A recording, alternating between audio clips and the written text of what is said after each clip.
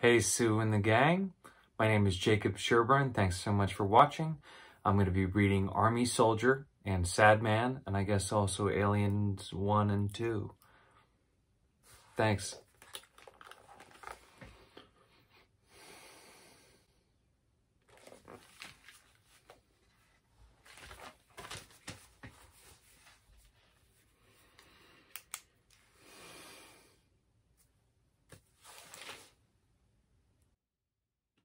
So that you understand me, I will mimic your voice patterns.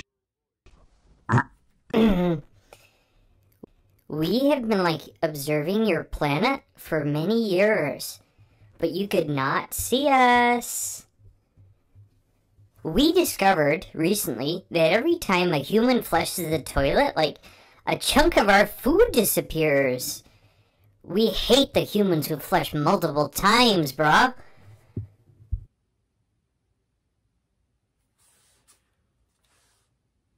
Why are you attacking us?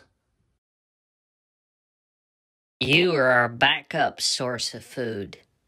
We look at you as dinner. We don't plan to kill you now. We like fresh food when we're ready to eat, like sushi. Why do you make us dance? We've learned that happy food tastes better. What advances has your planet achieved that ours has not? Mm, like, we developed advanced interplanetary travel.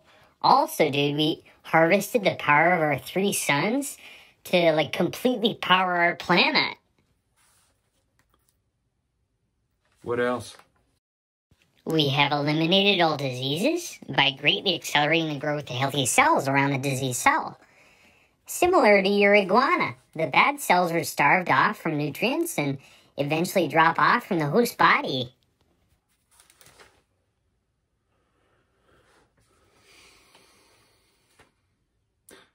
What are your weaknesses? Well, we're pretty poor spellers.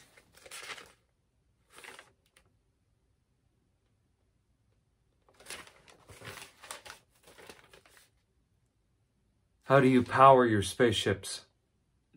With our poop?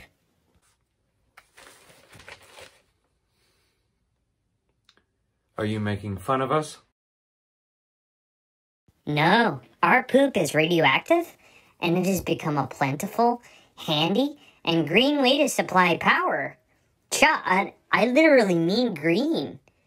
Give me a moment alone with privacy and I will show you.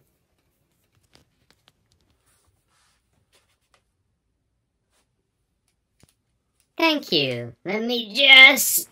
Yeah. Yeah,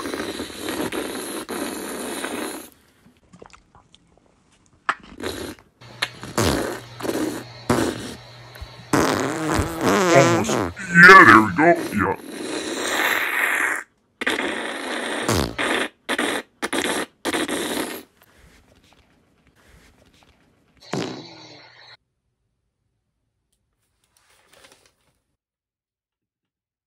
I have ejected the necessary quantity. Check it out. Get back. It's radioactive.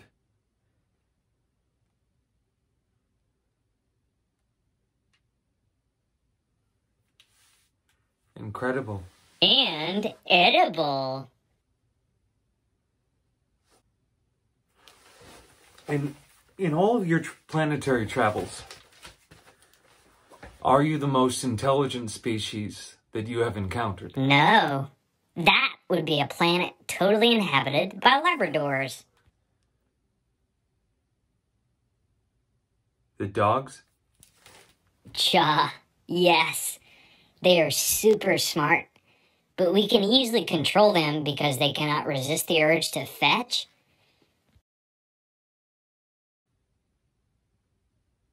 Have you discovered the meaning of life? Yes. It is to dance as much as possible. It propels the circle of life, especially when you like dance in a circle.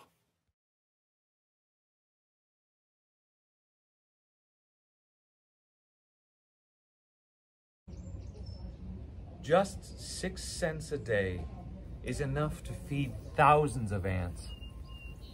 Don't let exterminators continue their cruel and heartless killing spree. Giving to Aunt Matilda is not just the right thing to do for the world, it's the right thing for you.